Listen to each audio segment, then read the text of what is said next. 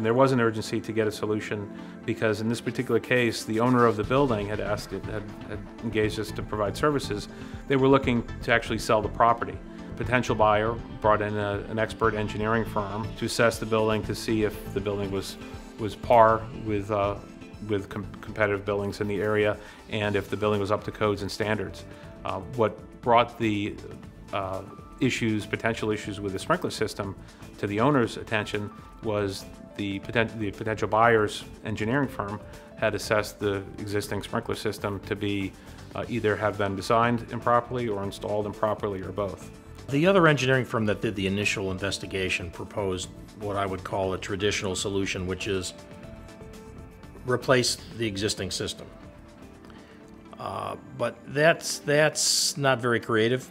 Uh, we uh, we've used tests in our previous work, and we thought this might make a good case study of the application of a test that is simply in a building with a, a slightly different roof height than what we uh, what we had with the existing approvals. So we thought we we thought there was a fairly good chance this would work. What we're about to see is a full-scale test of a traditional test commodity. 29 foot high storage, double row racks in a full-size warehouse.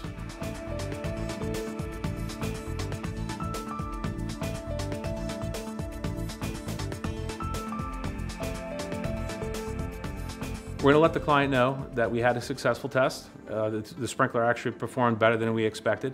Um, now, there's a couple steps that we still have to go through that are formalities. We need to let the local building official know, local fire official know that we had a successful test. There's a formal process that we have to go through, uh, variance process with a, with a local jurisdiction.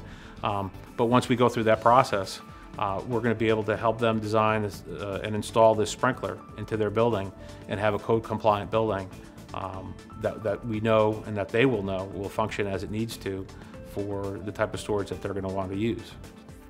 Well, we determined that a complete replacement wasn't necessary. In fact, uh, a large amount of the savings are realized by reusing, uh, to a great extent, the existing piping system. One of the things I liked most about implementing this solution was it's going to give us documented evidence that the solution that we suggest to the building department and to the client is something that works. There, oftentimes we're dealing with theoretical problems that we have to solve. In this case, uh, we had the opportunity and, and, really the necessity in this case to do an actual full-scale test to prove that a sprinkler would, would do what we needed it to do and what the client needed to do and what the local jurisdiction expects it to do. And we were able to, to document that and, and feel very comfortable with the results. And, and the results were, were fantastic. Well, we view this as a, as a win-win. Number one, it's, it's all about solving problems that are challenging. Uh, I think folks like us thrive on uh, coming up with solutions that are not necessarily readily apparent to the average uh, consulting engineer. And then we have a happy client at the, at the end of this uh, also, and uh, it, it just feels good.